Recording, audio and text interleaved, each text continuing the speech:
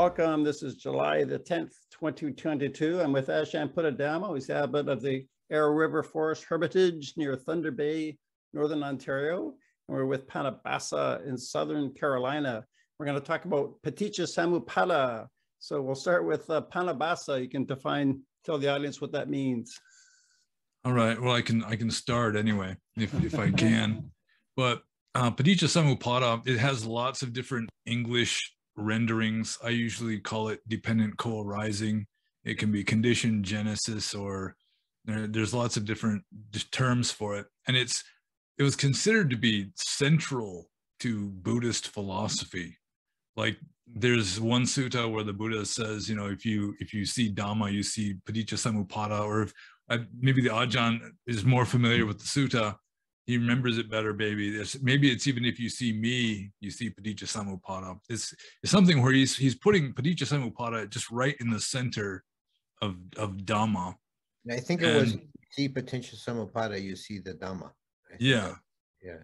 So it was there's that. But on the other hand, according to the legend, the Buddha almost remained silent and didn't teach Dhamma. You know, he almost became what would be like uh, uh, Pacceka Buddha, because he had this idea nobody would understand it. Hmm. And then Brahma had to come down from heaven to implore him to to teach it and then he looked and say okay there are some people with little dust in their eyes that that may understand it but there is uh, some wisdom to that because it does seem that paticca samuppada has been very difficult to understand and i think most buddhists even most buddhist monks really don't understand it and um, it that that goes back towards the beginning where um, there's two different versions. You know, there's this being that is you know this this existing that exists.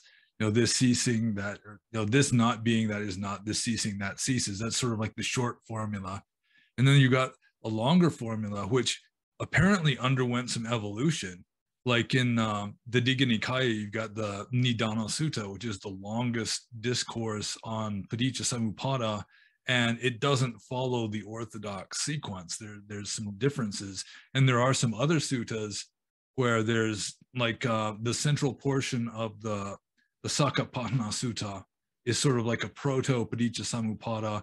There's another sutta in the the Sutta Nipata called the uh, uh, what is it called? Kalahavivada Sutta, which also has a kind of proto, you know, th- because of this, there is that, because of that, there is this, you know, there's this sequence of causes and effects. And apparently they settled on what's called the 12 Nidana theory. Um, but still, it's like Buddhist, like monks in, in Myanmar, they'll just memorize these 12 links and then they think they understand Paticca Samuppada. And even the the 12 links were established you know long long ago before the schism started. So but there's still different interpretations of the 12 links. Like theravada says these 12 links refer to three different lives. You know there's the past life which leads to this life and then it's the you know the craving in this life and it causes the the clinging which causes the bhava or the the like the karma the momentum that leads to jati in the next life Whereas other schools, I think the I think it might have been the Sarvastivadins had it all being with regard to one life. And then there have been some Theravadins like uh, the notorious Jnanavira who was saying that they're all simultaneous. Right. So it's it's still controversial. It's still not very well understood. And personally, I think that uh, the one famous monk who understood dependent co-arising better than any other was Venerable Nagarjuna, who wasn't even a Theravada Buddhist. Hmm. And uh, I'm glad that the Ajahn mentioned Nagarjuna in a, in a previous talk, because uh, I do think that he really understood just the subtleties of it better than uh, the like the commentators like uh, Buddhaghosa or somebody like that. Hmm. So that's that's one reason why I wanted to discuss this, um, especially in a conversation including the Ajahn, just because it's it's so central to understanding Dhamma, or mm. at least the the metaphysical or the the philosophical aspect of it. But at mm. the same time, it's it's so obscure and almost nobody really understands it, and, and that goes back to early times. Mm. So I'm just kind of tossing it out there to see what uh, kind of ideas we come up with. Yeah, it certainly is a, a, a subject that's been subject to uh, interpretation. It, Uh, I, I like to say facetiously that there's only two topics that I've seen monks uh, get somewhat heated in, in debating each other. One is uh, Paticca Samuppada and the other is the allowability of cheese in the afternoon. yeah, yeah. When I was a monk, we debated that in 1996, and we we we didn't have cheese in my monastery. Uh, And you, you didn't mention in your summary there, uh, uh, Ajahn Buddhadasa. Uh, oh, Thai, Thai, Thai monk who had a quite a bit of influence, and his interpretation of Paticca Samuppada has um, is, is gotten a lot of followers because he he puts it he he puts it all into one one life and moment uh, momentary sequence that's repeating constantly like moment by moment.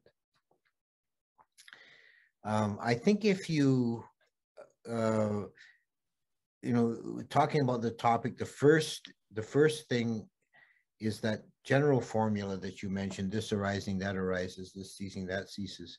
I think that's of absolutely critical importance as a foundation stone for Buddhist thinking is the principle of causality, that things arises according to causes and conditions and not otherwise. That there's no randomness and there's no arbitrariness in existence. Yeah. So, so that that uh, is the refutation of both eternalism and annihilationism. And the dependent origination is said by the Buddha to be the middle path between the two extreme views. Uh, and you're quite uh, right to point out that within the Sutta Pitaka, we have different variations. Certainly the, um, the 12 Nidanas is the predominant one that occurs most often. And the, the interpretation is laid out in the Visuddhimagga over the three lifetimes, the past, uh, which is actually more than three lifetimes. It's like the past, past lives, plural, and then present life, and future lives. Um, this generally just called the three life interpretation. That does seem to be the one most uh, amenable to the plain meaning of the text in the suttas. Uh, that uh, because of uh, because of ignorance, uh, we blunder, it's like blundering around in the dark and knocking things over. We disturb the universe with our actions, those sankharas. And then consciousness is conditioned by that. And it's right in the text that this this is patisandhi vijnana, the re consciousness, consciousness that arises in the womb and then unfolds through the uh, all the stages of um, uh, namarupa, six sense bases, and then we have the the uh, the process that leads to further becoming, beginning with sense contact, then feeling, then craving, and clinging. Uh, that's upadana. And that's an interesting one to talk about because the translation as clinging is um, maybe not really uh, completely accurate.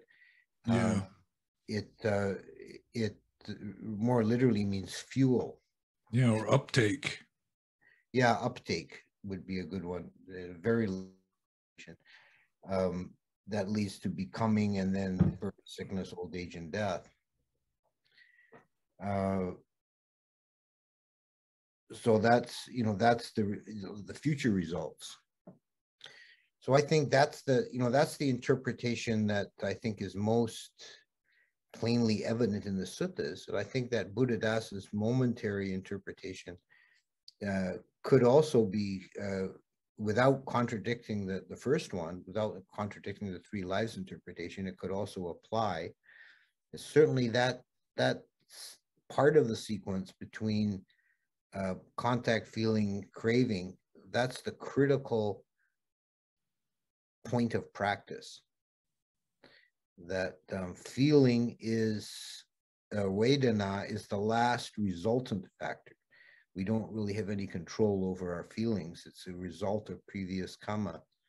And then we have a sense contact due to previous karma. Then we have the feeling arising from that. But then how do we deal with that feeling? And that we do we allow craving to arise or not? And that's the first step in our karma making stages, the new new arising. and Buddhadasa in his writings, he really emphasizes that point, that's the, critical point of practice. And I think that's the value of his particular interpretation. But I have encountered uh, some of his followers that I, I think have a less subtle understanding than he did. And it's, it's fairly common amongst people who consider themselves followers of Buddhadasa to deny that rebirth occurs at all. Uh, I don't know if you've uh, encountered any of these people. I, no, I think it's more of a Thai a Thai thing. Oh, possibly, yeah. I actually saw him in 1992. I did my first 10 day retreat there and I read his book, The Handbook for Mankind. That's really what got me into Theravada Buddhism when I first, I didn't speak with him. He was just walking by us months before he died, you know. Yeah. I attended one talk he gave. I didn't understand enough Thai to follow his talk, but fortunately it was being translated. There was somebody translating his talk. We visited his monastery in my first year in Thailand and that listening to his talk, and he was very impressive figure. You know, and he had a very matter of fact way about him in his teaching. And I remember his uh, uh, his repeated refrain, refrain was "E kapa jayata."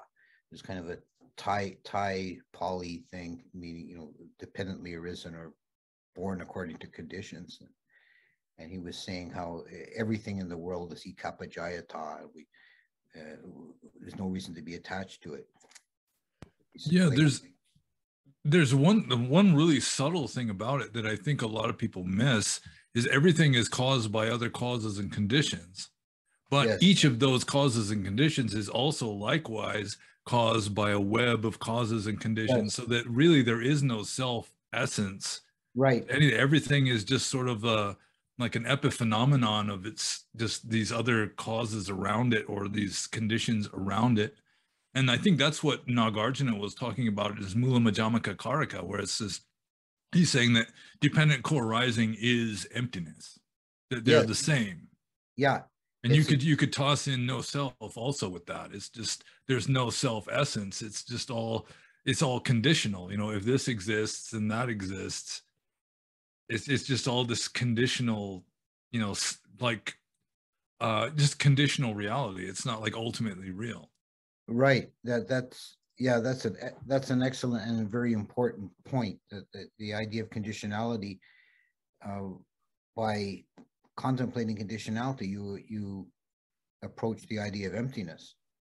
Because it that, that's mm-hmm. one that's way one way of understanding sunyata understanding emptiness is that nothing nothing has any self-substance. Nothing is intrinsically existent on its yeah. own. It's a result of other things, which themselves are results of other things. And there's nothing that's nothing that can be pointed to as a self-sustaining substantial entity. Yeah, there was no original condition that caused anything else. It's just this. Yeah, yeah. it's just this web of mm-hmm. possibilities or something.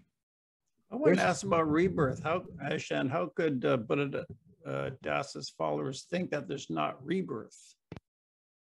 Uh, well, the Buddhadasa in his talks and writings always de-emphasized rebirth, and I take it from what I read in his, you know, because I've read several of his books, and I I think he was not he never denied the existence of rebirth, but I think he was playing to his audience that the culture of Thailand is so um, obsessed with getting a better rebirth, and he wanted people to think about getting nibbana. So you know, don't think about rebirth. Never mind rebirth. Oh, I see. Yeah, he's trying to balance his culture. Yeah. Yeah, uh, but the Westerners, particularly taking his teaching up, they say, "Well, there is no rebirth." That's bad news for the Westerners. They get they're yeah. getting misled.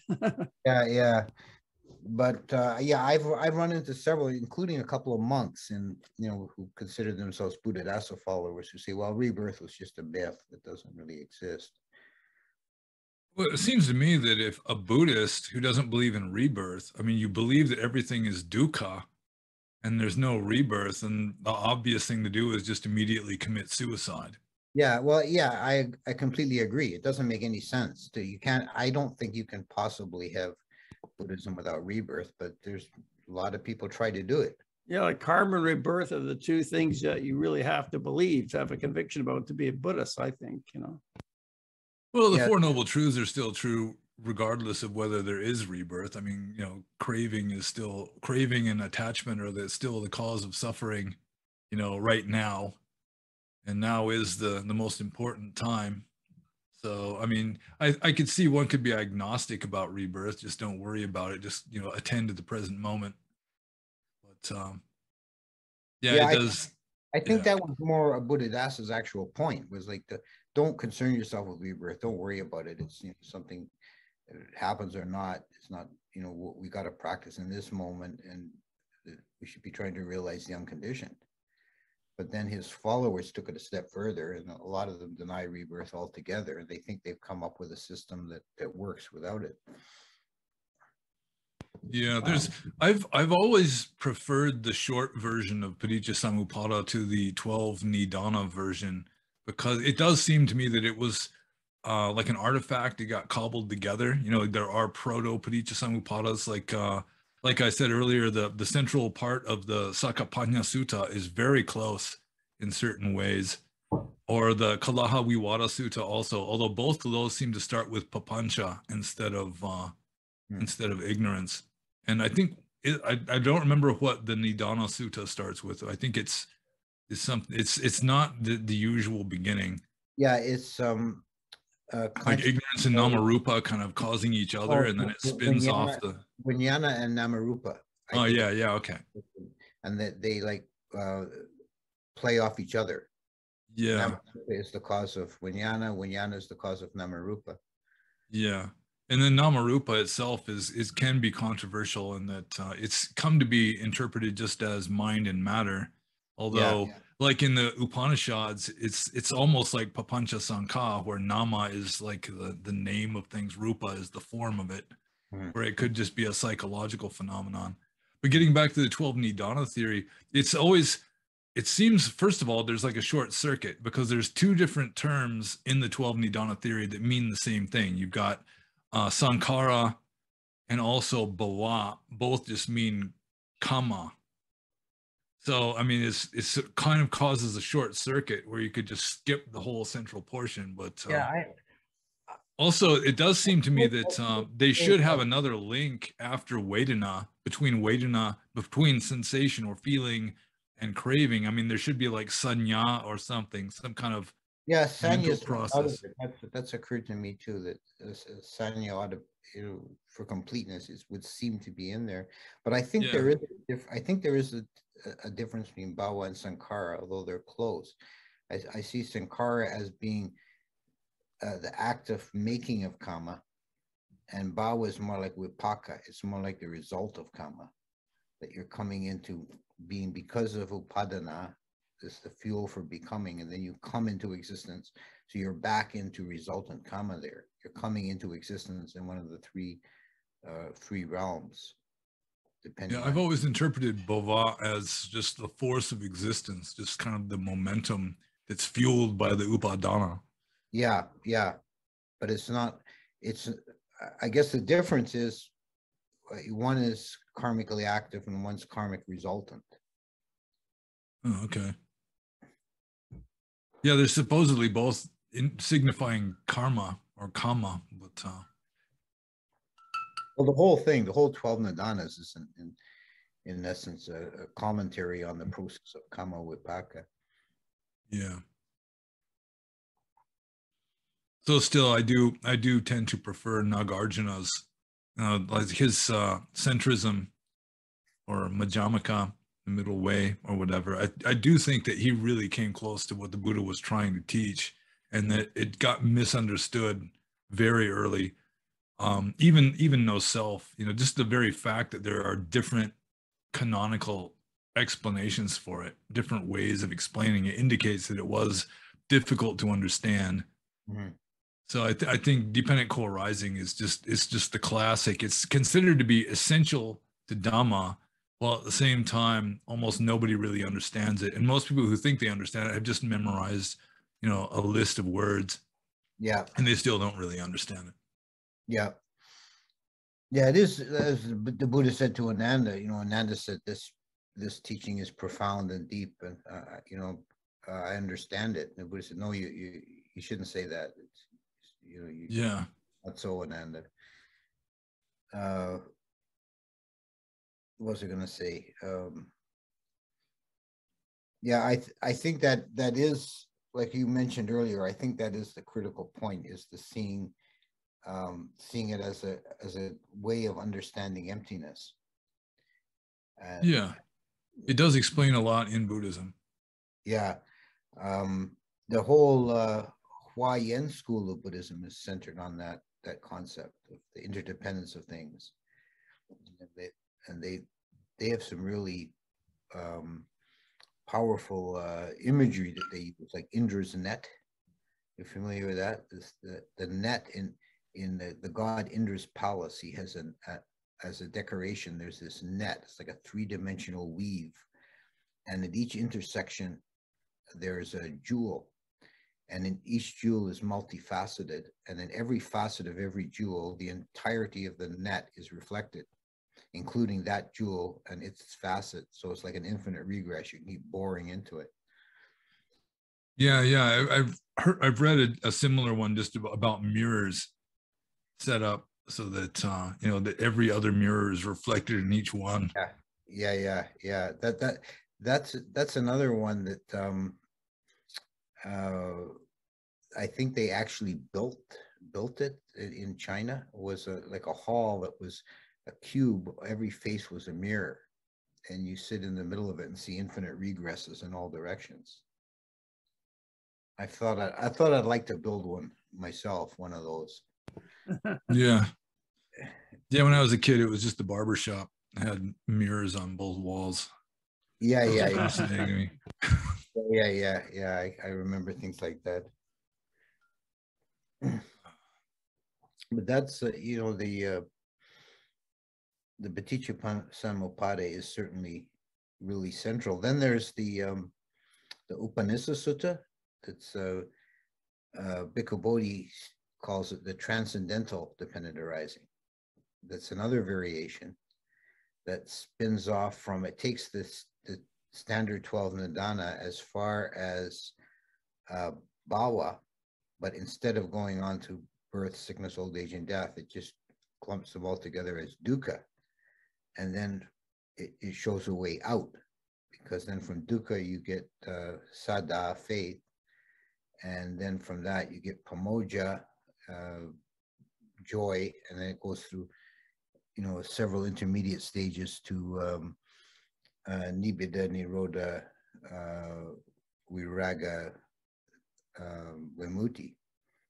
So it's like a, a dependent origination the 12 Nidana is entirely samsara, right? But this, this is a, like a, a, picture of samsara, but this is a, also includes the path out to nibbana. Yeah, just the very fact that there's several different versions of the this this conditions that that conditions that does indicate that this there could be a, a certain amount of arbitrariness with regard to uh, the actual you know settling on the 12 the 12 mm. links. Mm. And that's, um, I don't know if you've read it, but uh, it was really important for me in understanding Buddhism is uh, Studies in the Origins of Buddhism by G.C. Pandey. Oh, I don't, not familiar with that. Uh, it's, it's, it's an excellent book. And he, that was his theory also that, uh, that um, it was the, the 12 Nidana theory was essentially just cobbled together. You know, it, it was just sort of evolved over the first, you know, several decades or so of of early Buddhism. Mm-hmm. Um, partly just because people had such difficulty in understanding the whole idea because it was so subtle and and profound. Mm. Mm.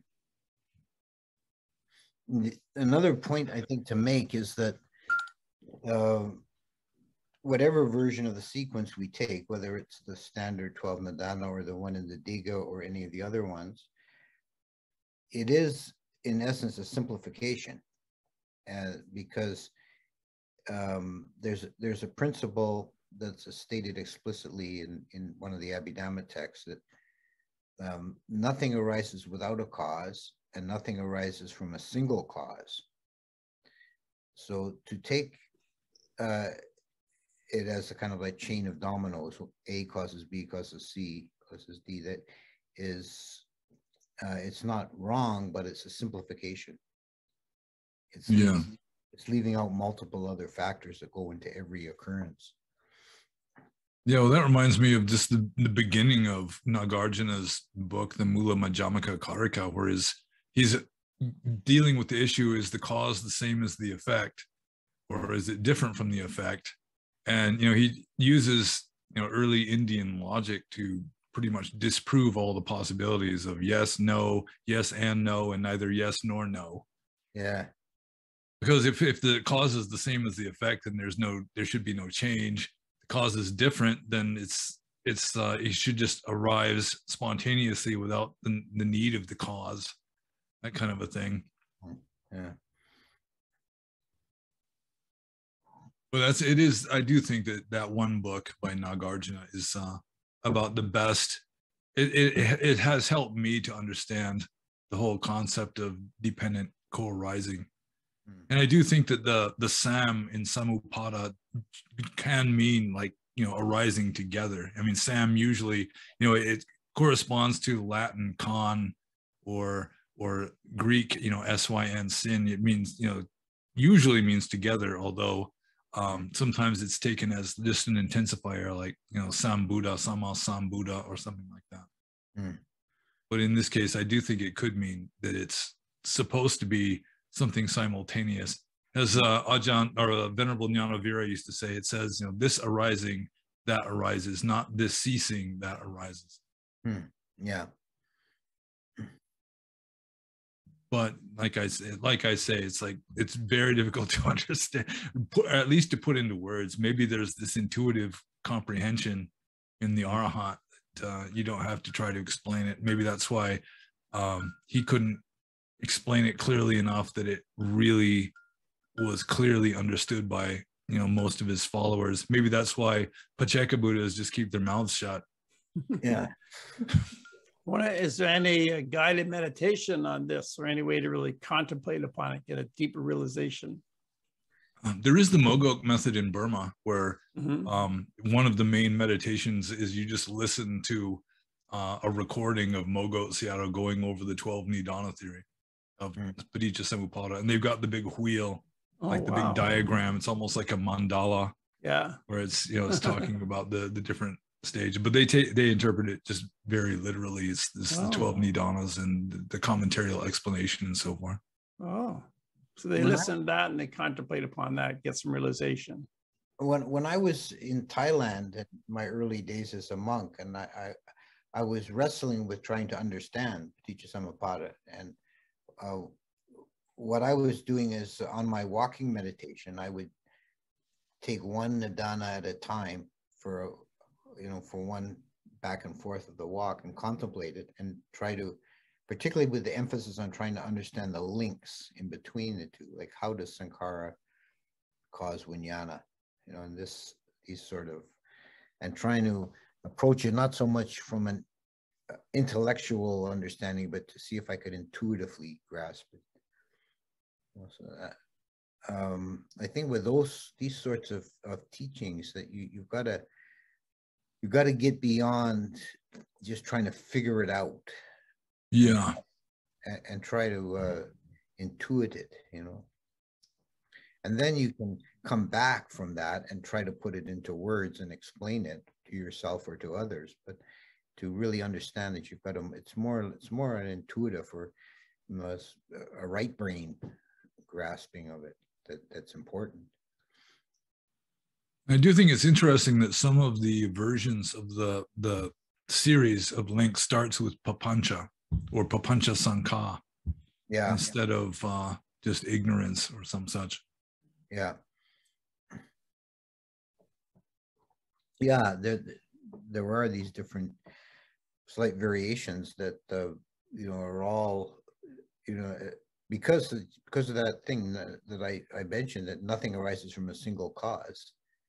These, um, different, uh, sequences don't really contradict each other. They're, they're emphasizing different points or aspects. Yeah. But it is interesting, and uh, I don't know what what this I, I assume there is no solution to the uh the difficulty of the subject No, that's, but as you said, uh, Arahant, that might be the solution. yeah just stop trying to figure it out and just practice Yeah, Yeah, but like you said, uh, the Buddha warned Ananda, no, it's not easy to understand. and it's very deep. And then it's not easy to understand this. Yeah. yeah I guess can we go any further than that? I don't have much to add to that. Thanks. yeah i would just uh, recommend that anyone with the uh, patience and the intelligence to read it should i mean you can you can get benefit from reading uh nagarjuna's mula madhyamaka karika there are a, a few english translations of it out there oh, is it on Amazon? probably yeah Probably. Yeah. Okay. I think I've got a copy right here and I haven't, it's on my reading list. I haven't gone through it. Uh, Oh, wow. Uh, I'll never, I don't know, I'm not gonna bother trying to find it. Yeah, but one of the most important verses in there is the one where he's just saying by by paticca samuppada we mean emptiness. By emptiness we mean paticca samuppada. Mm, And uh, Nagarjuna wasn't really a Mahayana Buddhist that I'm aware of. He was just he was a like a pre-Mahayana Buddhist of a different sect than Theravada who Yeah. came up with this interpretation of of emptiness and so forth. And the Mahayana Buddhists liked it, so they just kind of adopted him as a patriarch. mm. Yeah. But They he never adopted- mentions any Mahayana texts. He's mainly mentioning like uh, the Kaccayana Sutta and a few of these other obscure, kind of difficult to understand, paradoxical kind of suttas that are found in the Pali text, although he was going with the Sanskrit version of it. Oh, okay. So you're saying he was not a Mahayanist, but the Mahayanas have uh, adopted him today. Uh, yeah, probably. Or if he was a Mahayana Buddhist, he concealed it fairly well and didn't refer to bodhisattvas or uh, Ah. any Mahayana texts. So he probably wasn't, right? He's probably just adopted after his death. Yeah, I, I assume he was just adopted as a patriarch, just like Mahakassapa was adopted as a Mahayana patriarch and so forth. yeah. Yeah, Okay. Should we wrap it up at this point? Yeah, okay. might as well. Okay. Thank you, Ajahn. Thank you, Pannobhasa. Bye.